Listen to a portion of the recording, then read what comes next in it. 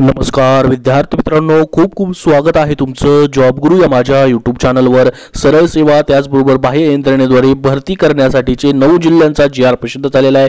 त्याची माहिती आपण बघणार आहोत. त्यासाठी नक्की शेवटपर्यंत व्हिडिओ पहा. त्याचबरोबर तुम्ही टेलिग्राम चॅनल जॉईन नसेल केला तर जॉईन असं कमेंट बॉक्समध्ये कमेंट करा. त्यांना जॉईन करण्यात येईल. चला तर बघूया डिटेलमध्ये सविस्तर माहिती. हा जी आर मी तुमच्यासमोर ऑफिशियली ओपन केलेला आहे. आपण या ठिकाणी पाहू शकता महाराष्ट्र शासन नियोजन विभागामार्फत सत्तावीस तारखेला हा जी आर प्रसिद्ध करण्यात आलेला आहे. छत्रपती शाहू महाराज संशोधन प्रशिक्षण व मानव विकास संस्था सारथी पुणे या कंपनीच्या अधीनस्थ असलेले विद्यार्थी मित्रांनो सहा विभागीय कार्यालयाच्या आस्थापनेवर नियमित स्वरूपाची पदे व बाह्य यंत्रणेद्वारे नियुक्त करायच्या सेवा निर्माण करण्याबाबत. तर पहा हे सहा विभाग म्हणजे सहा जिल्हे आहेत. त्याचबरोबर बाकी दोन जिल्ह्याची अजून जाहिरात जी आहे ती प्रसिद्ध झालेली आहे.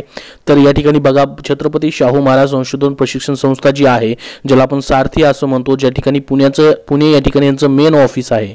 तर या मेन ऑफिसच्या अंतर्गत विद्यार्थी मित्रांनो पूर्ण महाराष्ट्रामध्ये प्रत्येक जिल्ह्यामध्ये यांची जी आहे ते उपकेंद्र आहेत. तर ही सारथी संस्था जी आहे ज्याच्यामध्ये विद्यार्थी मित्रांनो मराठा कुणबी मराठा व मराठा कुणबी या प्रवर्गाच्या आर्थिक सामाजिक व शैक्षणिक विकासासाठी विविध कल्याणकारी योजना जी आहे ते राबवत असते. आपल्याला माहिती असेल. तर ही अंमलबजावणी होण्यासाठी सहा विभागीय कार्यालयांची नेमणूक करण्यात आलेली आहे. ज्याच्यामध्ये पहा मुंबई नाशिक अमरावती नागपूर औरंगाबाद व पुणे आणि लातूर आणि कोल्हापूरची दोन वेगळे जी आर अजून प्रसिद्ध झालेले आहेत. तेही आपण बघूयात. तर त्यासाठी आवश्यक अधिकारी व कर्मचारी वृंद मिळून प्रत्येक कार्यालयासाठी एकवीस पदे. प्रत्येक कार्यालयासाठी म्हणजे या ठिकाणी प्रत्येक जिल्ह्यामध्ये यांचं कार्यालय तर प्रत्येक जिल्ह्याच्या कार्यालयामध्ये एकवीस पदं जी आहेत ती नियमित व बाह्य यंत्रणेद्वारे नियमित करण्याचा प्रस्ताव शासनाच्या विचाराधीन होता. तर त्यासाठी शासन निर्णय आलेला आहे. शासन निर्णयामध्ये या ठिकाणी ह्या प्रत्येक जिल्ह्यामध्ये पदं जी आहेत ती निर्माण करण्यासाठी परवानगी देण्यात आलेली आहे. म्हणजे त्यांची जाहिरात या ठिकाणी नियमित आठ आठ पदांची आणि तेरा बाह्य यंत्रणेद्वारे पदांची अशी प्रसिद्ध केली जाणार आहे. तर पहा ही सहा विभागीय याच्यामध्ये कुठली पदं असणार आहेत?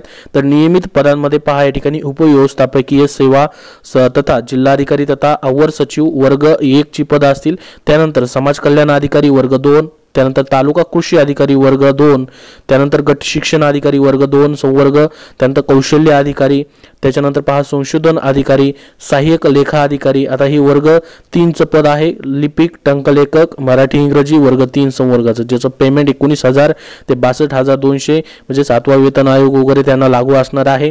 तर ही प्रत्येक विद्यार्थी मित्रांनो जी आहे ती नियमित पद आहेत ही सर्व. एकूण आठ पदं प्रत्येक जिल्ह्यासाठी आठ आठ पदं आहेत. एका जिल्ह्यासाठीच नाही तर प्रत्येक जिल्ह्यासाठी ही नियमित आठ आठ पदं भरली जातील. आणि त्याच्यानंतर आता पुढं या ठिकाणी ते कॉन्ट्रॅक्ट बेसिसवरती भरती करतात आता सरकार विद्यार्थी मित्रांनो आपल्याला माहिती असेल की पैसे वाचवण्यासाठी कॉन्ट्रॅक्ट भरती करत आहे. ज्याच्यामध्ये वर्ग तीन आणि चारची सर्वच पदं आता कॉन्ट्रॅक्ट भरती पूर्णच कुठल्याही कार्यालयामध्ये पहा त्या ठिकाणी कॉन्ट्रॅक्ट भरती त्यांनी चालू केलेली तो आरोग्य विभाग असेल जिल्हा परिषद असेल सर्व विभागामध्ये तुम्हाला कॉन्ट्रॅक्ट भरती भेटेल. जसं की विद्यार्थी मित्रांनो डेटा एंट्री ऑपरेटर हे पद आहे. प्रत्येक कार्यालयामध्ये तुम्हाला कॉन्ट्रॅक्ट बेसिसवरती पाहायला भेटेल. जिल्हा परिषदच्या प्रत्येक कार्यालयामध्ये पाहायला भेटेल. जसं की एन एच पासून ते विद्यार्थी मित्रांनो या ठिकाणी जलसंपदा असेल कुठलेही कार्यालय असू द्या. त्या ठिकाणी त्यांना अठरा हजार पर मंथ शासन जी आरनुसार मान्य करतं परंतु ते पेमेंट जे आहे नऊ ते दहा हजार किंवा अकरा ते बारा हजार पेमेंट फक्त देतात विद्यार्थी मित्रांनो. ही कंपनी जी कॉन्ट्रॅक्ट घेते ना ती कॉन्ट्रॅक्ट जी आहे कंपनी कॉन्ट्रॅक्टदार फक्त नऊ ते दहा हजार रुपये पेमेंट जो आहे तो या ठिकाणी कामगाराला देतो. जसं की डेटा एंट्री ऑपरेटर या ठिकाणी पद असेल तर. बाकी विद्यार्थी मित्रांनो अठरा हजार शासन या ठिकाणी जी आरमध्ये कॉन्ट्रॅक्ट बेसिसवरती मान्य करत आहे तोही पगार पूर्ण दिला जात नाही. तर पहा याच्यामध्ये कुठली पदं भरली जातात? सुरक्षा रक्षक पंधरा हजार नऊशे पगार. त्यानंतर सफाई कर्मचारी सिपाई पंधरा हजार पगार. च वाहन चालक सतरा हजार पगार. डेटा एंट्री ऑपरेटर अठरा हजार. संगणक अभियंता अठ्ठावीस हजार. प्रकल्प अधिकारी स्पर्धा परीक्षा अठ्ठावीस हजार. त्यानंतर प्रकल्प अधिकारी आधी छात्रवृत्ती अठ्ठावीस हजार. तर ही टोटल तेरा पदं. तेरा प्लस विद्यार्थ्यांच्या या ठिकाणी जी प आठ पदं आहेत अशी मिळून पदं जी आहेत ती एकवीस पदं प्रत्येक जिल्ह्यासाठी एकवीस एकवीस पदं जी आहेत ती भरली जाणार आहेत. आता ही सर्व पदं तुम्हाला जर अप्लाय करायचं असेल तर तुम्हाला विद्यार्थी मित्रांनो सारथी तुमच्या जिल्ह्याच्या ठिकाणी जी संस्था असेल त्यांना हा जी आर जो आहे महाराष्ट्र शासनाच्या वेबसाईटवरून डाउनलोड करायचा त्यांना दाखवायचं. यासाठी आम्हाला अर्ज जो आहे तो करायचा आहे. कशा पद्धतीने करता येईल? तर ती सर्व माहिती तुम्हाला त्याच ठिकाणी दिली जाईल. याच्यामध्ये अर्ज करण्यासाठी काही माहिती दिलेली नाही. फक्त जी आर या ठिकाणी प्रसिद्ध झालेला आहे. शासनाने मान्यता दिलेली ही पदं भरण्यासाठी करण्यासाठी बाह्य यंत्रणांद्वारे घ्यायची एकूण मनुष्यबळ संख्या तेरा पदं घ्यायची आहेत. आणि या ठिकाणी नियमित पदामध्ये आठ पदं वर्ग तीन पासून ते वर्ग दोनची पदं भरली जाणार आहेत. तर ही प्रत्येक विभागीय बघा या ठिकाणी दिले त्यांनी सहा विभागीय कार्यालयाकरता एकूण.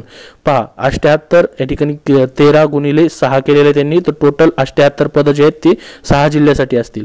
आणि अजून दोन जिल्ह्याची जाहिरात जी आहे ती प्रसिद्ध झालेली आहे. ज्याच्यामध्ये या ठिकाणी पहा हा जो जिल्हा आहे कोल्हापूर आहे. कोल्हापूर उपकेंद्रासाठी विद्यार्थी मित्रांनो या ठिकाणी ही जी आहे पदभरती आहे. बाह्य यंत्रणेद्वारे प्लस या ठिकाणी नियमित पदे. नियमित पदामध्ये देखून देखील पाहू शकता आपण टोटल आठ पदं आहेत.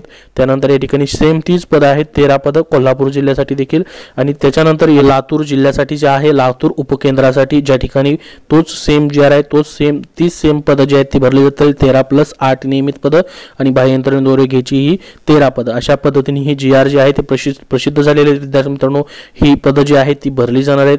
त्यासाठी या ठिकाणी नक्की तुम्ही विद्यार्थी मित्रांनो ह्याचं जी आर जाहिरात जर प्रसिद्ध झाली तर नक्की तुमच्यापर्यंत पोहोचवली जाईल. त्यासाठी आपल्या चॅनलला नक्की सबस्क्राईब करा टेलिग्राम चॅनललाही जॉईन करा.